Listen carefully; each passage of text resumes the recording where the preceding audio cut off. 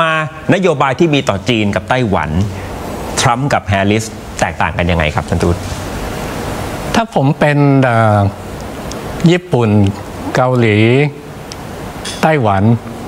ผมจะกังวลถ้าทรัมป์มาอืมถ้าแคม a ราแฮร์ริสมา ญี่ปุ่น เกาหลี ไต้หวัน จะมีความสบายใจเหมือนกับเป็นนโยบายต่อเนื่อง กับโจไบเดนคือขนาดนี้สหรัฐไม่มีความสนใจกับประเทศไทยแบบแต่ก่อนแล้วนะฮะ ถ้าถ้าอย่างนั้นถ้าถ้าผมถามในมุมกลับเมื่อสักครู่ท่านทูตบอกว่าถ้าถามญี่ปุ่นเกาหลีไต้หวันเขาอาจจะกังวลต่อการที่ทรัมป์เข้ามา แต่ถ้าเป็นแฮร์ริสเขาอาจจะยิ้มได้มากกว่า แล้วสำหรับประเทศไทยล่ะ กับสมรภูมิที่จีนกับไต้หวันเนี่ยไทยต้องกังวลกับผู้นำคนไหนมากกว่ากัน ถ้าเข้ามาแล้วมันจะมากระทบกับเรา เพราะเราก็มีเรื่องทางทะเลเกี่ยวข้องกับทะเลจีนใต้เช่นเดียวกัน คือเมื่อสี่ปีแรกของทรัมป์เนี่ยนะทรัมป์ทำในสิ่งที่ไม่มีประธานนิติสหรัฐคนไหนยอมทำคือยังไม่ได้ข้อยินยอมของฝ่ายเกาหลีเหนือเนี่ยพร้อมที่จะเอาตัวไปพบ คือให้รางวัลเกาหลีเหนือ ก่อนที่เกาหลีเหนือเนี่ยจะทำอะไรให้สหรัฐ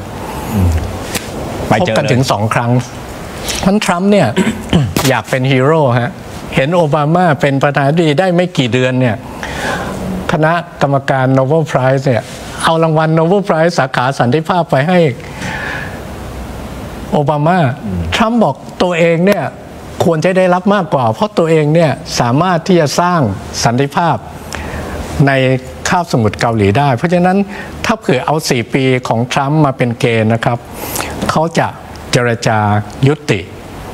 เรื่องความขัดแย้งทางการทหารกับเกาหลีเหนือนะครับ กับจีนเนี่ยเขายอมไม่ได้ในเรื่องเศรษฐกิจในเรื่องของคนละการประเด็นในเรื่องของการที่จีนเนี่ยเอาเปรียบ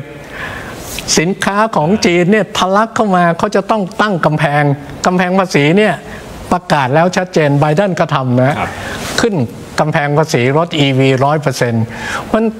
กับจีนเป็นเรื่องเศรษฐกิจที่ยอมไม่ได้ เพราะว่าจีนกองกำลังทหารเขาไม่ได้มาคุกคามความมั่นคงของสหรัฐ คุกคามไต้หวัน ซึ่งสหรัฐเนี่ยมีความผูกพันที่จะต้องปกป้อง แต่จะถามว่าทรัมป์พร้อมที่จะ เข้าสู่ความขัดแย้งทางการทหาร พร้อมที่จะให้ทหารอเมริกันไปตายแทนคนเกาหลีใต้ คนไต้หวันเพื่อจะปกป้อง เขาก็บอกว่าให้ยนี่มันเป็นส่วนหนึ่งของจีน ควรที่จะสนับสนุนให้เขาพูดคุยกันอยู่ร่วมกันอย่างสันติ ผมคิดว่าเขาจะมาแนวที่ ฉะนั้นมันไม่มีความฉะนั้นต้องแยก 2 ประเด็น ถ้าเป็นเรื่องความมั่นคง ถ้าเป็นเรื่องมิติในทางทหารในแถบนี้เนี่ยที่จะต้องจ่ายเงินเพิ่มอ่าที่จะต้องส่งคนไปตาย ถ้าทรัมป์เข้ามาอาจจะอาจจะคลี่คลายได้มากกว่า เพราะเขาไม่อยากมาเสี่ยงกับสมรภูมินี้ แต่ถ้าเป็นเรื่องทางเศรษฐกิจตั้งกำแพงภาษี และประเทศไทยจะได้รับผลกระทบไปด้วย อันนี้เราน่าห่วงในแง่วิธีการมองทางเศรษฐกิจ น่าห่วงแน่นอน เพราะว่าจีนเนี่ยไม่ว่าเป็นทรัมป์หรือเป็น คามาลาแฮร์ริสไม่ว่าเป็นทรัมป์หรือโจไบเดนนโยบายด้านเศรษฐกิจกับจีนไม่เคยมีอะไรเปลี่ยนแปลง มีแต่เพิ่มความเข้มข้นขึ้น สมัยทรัมป์นี่ประกาศสงครามการค้ากับจีนนะลงโทษจีนเวลาจีนไม่ทำตามครับ กติกาที่ตกลงไว้กับจีน คือจีนจะซื้อสินค้าอเมริกันมากขึ้น เพราะสินค้าอเมริกันไม่ไม่ได้รับการซื้อตามปริมาณที่ต้องการทรัมป์ก็ขึ้นกำแพงภาษี จีนก็ตอบโต้ก็เป็นสงครามการค้า เพราะฉะนั้นเรื่องเศรษฐกิจเรื่องเทคโนโลยีเป็นสิ่งที่ทั้งทรัมป์ทั้งกามาลาแฮร์ริสยอมไม่ได้ ในยุคของไบเดนเนี่ยเขาได้ออกกฎหมายซึ่งสำคัญมากเลยนะ ชื่อ US Chips and Science Act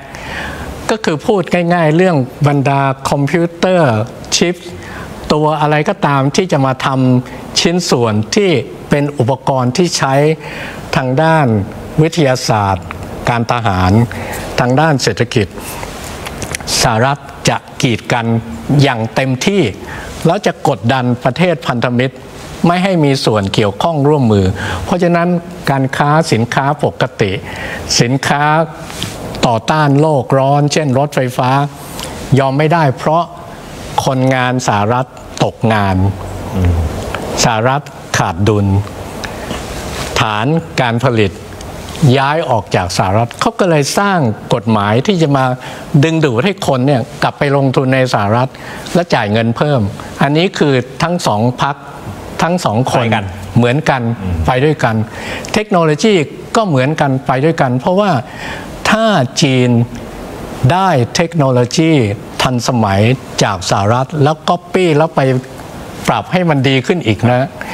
อาวุธ ทันสมัยทั้งหมด ซึ่งจีนเป็นรองสหรัฐตอนเนี้ย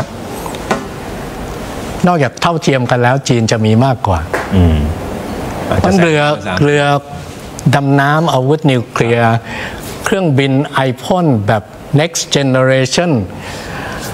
จรวดนำวิถีอะไรต่างๆ ที่มันเป็นการยิงถูกเป้า การป้องกันน่านฟ้าอะไรต่างๆ เทคโนโลยีเหล่านี้ จะต้องถูกกีดกัน จะต้องมีการใช้มาตรการแบบสูงสุดครับ ที่จริงผมผมเตรียมคำถามเอาไว้สำหรับประเทศไทยด้วย แต่ท่านทูตบอกว่าเขาไม่ได้มองประเทศไทยเป็นประเทศเดียวๆแหละเขามองเป็นยุทธศาสตร์อินโดแปซิฟิกมากกว่า ฉะนั้นก็ก็คงจะข้ามคำถามนี้ไป